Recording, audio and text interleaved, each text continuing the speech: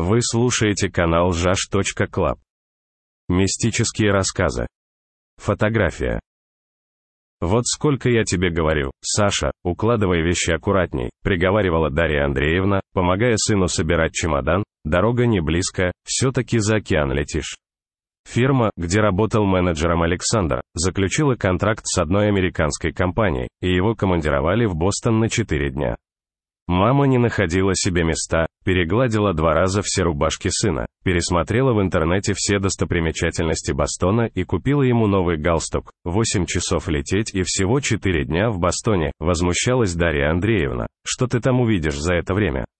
«Мама, я работать туда еду, а не достопримечательности смотреть, обязательно посмотри Капитолий», настаивала мама. «Хорошо, посмотрю», смеялся Александр. «Я в молодости была в Бостоне», ностальгически вздохнула Дарья Андреевна. «Тогда не просто было съездить за границу, правда».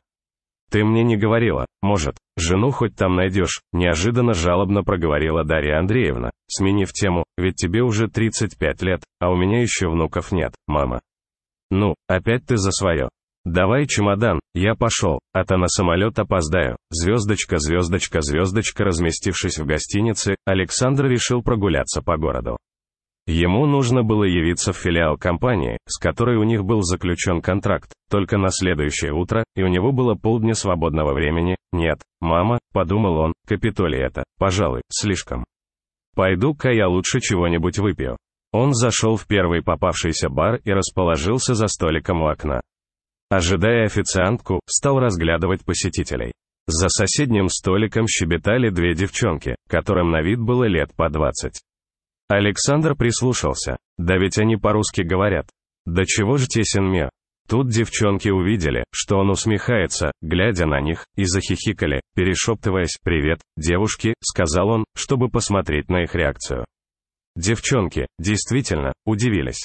Но после необходимых обменов любезностями даже попросили их сфотографировать, протянув ему свои телефоны. Он их пощелкал немного, и с бокалом мартини, и в обнимку, а теперь давайте и вы с нами, сказала одна из них, на память о встрече, почему бы и нет. Только давайте на мой телефон.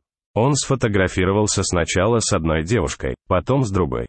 Девчонки, наигравшись с телефонами, продолжили свое хихиканье, разглядывая прохожих из окна, а Александр решил мельком взглянуть на фотограф.